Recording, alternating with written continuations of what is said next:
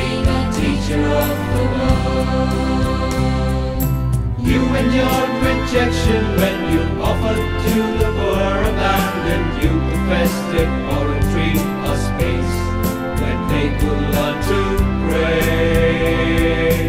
You began a family that networked far and wide to make your dream for education reach young